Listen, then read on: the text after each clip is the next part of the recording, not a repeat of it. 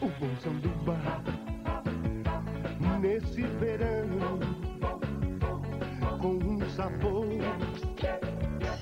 bem natural.